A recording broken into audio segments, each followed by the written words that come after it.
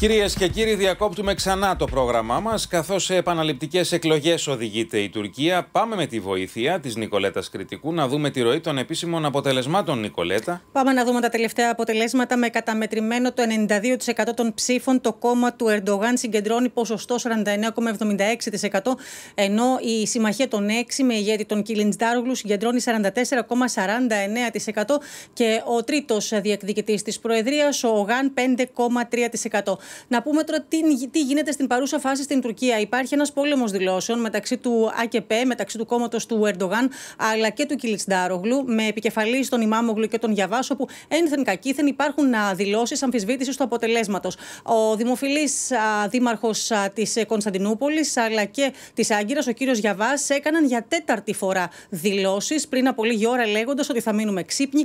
Αύριο ο Κιλιτσντάρογλου θα είναι ο νικητής. Αμφισβητούν λοιπόν τα αποτελέσματα και μάλιστα μάλιστα λένε ότι τα αποτελέσματα έχουν στηθεί, υπάρχει παραποίηση, ε, έχουμε συγκεκριμένα στοιχεία τα οποία θα σας παραθέσουμε αργότερα. Αυτές είναι οι δηλώσεις του Ιμάμογλου. Ενώ από την πλευρά του Γιαβά έβαλε στο στόχαστρο για άλλη μια φορά το κρατικό πρακτορείο ειδήσεων Ανατολού, λέγοντας ότι διακόπτει συνεχώς τη ροή των πληροφοριών, ενώ δεν υπάρχει πρόσβαση από το κόμμα Κιλιτσντάρογλου, από τη Συμμαχία των 6, σε επίσημα αποτελέσματα. Από την άλλη, το κόμμα του Ρετζέπτα Γίπα Ερντογάν, ε, μέσα από τον εκπρόσωπό του, τον Μέρτσελικ δηλώνει ότι ο νικητής, ο μεγάλος νικητής των εκλογών, θα είναι για άλλη μία φορά ο Ρετζέπ Ταγί Περντογάν.